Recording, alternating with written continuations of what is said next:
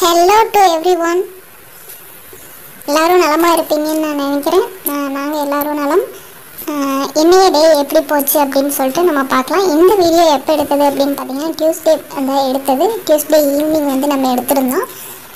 வாங்க வீடியோக்குள்ளே போகலாம். அதுக்கு முன்னாடி நம்ம சேனலை லைக் பண்ணலன்னா பண்ணிக்கங்க. பக்கத்தில் இருக்க பெல் பட்டனை கிளிக் பண்ணிக்கங்க. அப்போ தான் நம்ம போடுற வீடியோஸ் எல்லாமே உங்களுக்கு உடனுக்குடனே வரும். வாங்க வீடியோக்குள்ளே போகலாம். இன்னைக்கு நம்ம எங்கே போயிருக்கோம் அப்படின்னு பார்த்தீங்கன்னா இன்றைக்கி வந்து நம்ம சிவனை வந்து தென்னாட்டுடைய சிவனை போட்டிருக்காக தான் சிவனை பார்த்து சுவாமி கும்பிட்டு வரலாம் அப்படின்றதுக்காக தான் போயிருந்தோம் மக்களாகிய உங்களுக்கும் வந்து எல்லா வரங்களையும் கொடுத்து வாழ்வில் முன்னேறணும் அப்படின்னு சொல்லி நான் வந்து வேண்டிக்கிறேன். அதுக்கப்புறம் வந்து நம்ம எங்கே போயிருந்தோம் அப்படின்னா சுவாமிக்கு தான் போயிருந்தோம். அங்கே போயிட்டு முதல்ல வந்து ஃபஸ்ட்டு வந்து விநாயகரை தான் வந்து கும்பிடணும். ஸோ அதுக்காக வந்து நம்ம விநாயகரை வந்து பார்த்து தரிசனம் பண்ணிட்டு வரலாம் அப்படின்னு சொல்லிட்டு விநாயகரை பார்க்க போயிட்டோம். விநாயகர் வந்து இருந்தாங்க. நம்ம போன டைம் பார்த்தீங்கன்னா afternoon three o'clock so வந்து கோவில் எல்லாமே க்ளோஸில் தான் இருந்துச்சு. நம்ம வந்து எதுவுமே க்ளோஸில் தான் இருந்துச்சு. ஸோ அதனால் உள்ளே பூ வைக்கணும் அப்படின்னு எனக்கு ஒரு ஆசை. வைக்க முடியல. ஸோ அதனால் வெளியில் இருந்து உள்ளே இது பண்ணேன். கரெக்டாக போய் விநாயகருக்கு விநாயகர் கிட்டேயே வந்து இருந்து இதாகிருச்சு ஓகே அப்படின்னு சொல்லிட்டு வெளியில் ஒரு சுவாமி இருந்தது. அந்த விநாயகருக்கு எனக்கு தெரிஞ்ச ஸ்லோகங்களை சொல்லி நான் வந்து பிரார்த்தனை பண்ணேன். பிரார்த்தனை பண்ணிவிட்டு குட்டி இந்த சுவாமி இருந்துச்சு. அதுக்கு வந்து எனக்கு தெரிஞ்ச ஸ்லோகங்களால் நான் வந்து பிரார்த்தனை பண்ணேன். பிரார்த்தனை முடிச்சுட்டு அதுக்கு அடுத்ததான் நம்ம வந்து எந்த சுவாமியை கும்பிட போகிறோம் அப்படின்னு சொல்லிட்டு நம்ம பார்க்கலாம். அதுக்கப்புறம் வந்து துர்க்கை அம்மனை தான் வந்து நம்ம கும்பிட்றதுக்காக வந்து போயிருந்தோம் ராகு நேரத்தில் துர்க்கையை வந்து தரிசனம் செய்யலாம் அப்படின்னு சொல்லிட்டு துர்க்கைக்கு வந்து சுவாமி வந்து ஓப்பனில் தான் இருந்துச்சு. அந்த சுவாமிக்கு வந்து நம்மளால் முடிஞ்ச ஸ்லோகங்களை சொல்லி இது பண்ணிவிட்டு நான் வந்து ஒரு ரோஸ் கொண்டு போயிருந்தேன். நம்ம வீட்டில் பூத்த ரோஸு. ஸோ அது வந்து சுவாமிக்கு வச்சுட்டு சுவாமி தரிசனமெல்லாம் சிறப்பாக முடிச்சுட்டு அங்கே வந்து கோவிலில் பார்த்தீங்க அப்படின்னா மாடு வந்து இருந்துச்சு. கோசாலை அப்படின்ற இப்போ தான் வந்து ஸ்டார்ட் பண்ணியிருக்காங்க. அங்கே போயிட்டு அங்கே வந்து கோவில் பின்னாடி பார்த்தீங்க அப்படின்னா ஜீவ சமாதி அப்படின்ற ஒரு இது இருக்குது அங்கேயும் போய் சிறப்பாக தரிசனம் முடிச்சுட்டு மனசுக்கு நிம்மதியாக துர்க்கைக்கு வந்து விளக்கு போட்டு கும்பிடலாம் அப்படின்னு சொல்லிட்டு துர்க்கைக்கு வந்து விளக்கு வச்சு எனக்கு தெரிந்த ஸ்லோகங்களை சொல்லி பிரார்த்தனை பண்ணிவிட்டு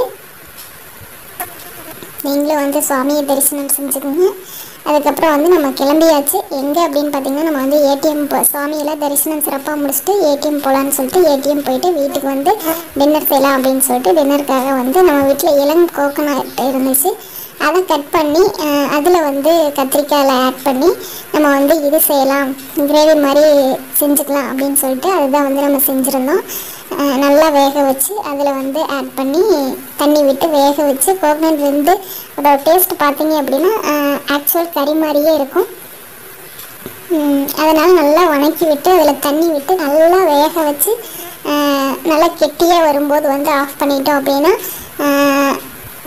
கறிக்கு ஈக்குவலான டேஸ்ட்டில் இருக்கும். நீங்களும் வேணால் ஃப்ரீயாக இருக்கும்போது செஞ்சு ட்ரை பண்ணி பாருங்கள் எப்படி இருக்குது அப்படின்னு சொல்லிட்டு நம்மளோட டின்னர் வந்து இப்படி தான் இதுக்கு வந்து நம்ம வந்து சப்பாத்தி தோசை எதெல்லாம் செஞ்சுக்கலாம். நம்ம அதுதான் செஞ்சு சாப்பிட்டோம். நெக்ஸ்ட் டே மார்னிங் பார்த்தீங்கன்னா மார்னிங் எழுந்திரிச்சதையும் ஒரே பனி மூட்டமாக இருந்துச்சு. என்னடா இது? நம்ம எங்கே தான் இருக்கோமா? இல்லை எங்காவது வேறு எங்காவது இருக்கோமோ? அப்படின்ற மாதிரி ஊட்டி கொடைக்கானலில் இருக்கோமா?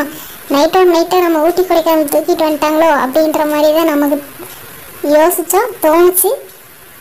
இதுக்கப்புறம் பார்த்தீங்க அப்படின்னா இப்படி தான் வந்து morning six thirty seven o'clock ஆயிடுச்சு அப்போவே இப்படி தான் இருந்துச்சு. சரி ஓகே அப்படின்னு சொல்லிட்டு நம்மளோட ரொட்டைன் ஒர்க்கை ஸ்டார்ட் பண்ணலாம் அப்படின்னு சொல்லிட்டு ரொட்டைன் ஒர்க்கு வந்து செய்யலாம் அப்படின்ட்டு ஸ்டார்ட் பண்ணியிருந்தோம். அரிசி வந்து ஊற வச்சு வச்சுருந்தாங்க.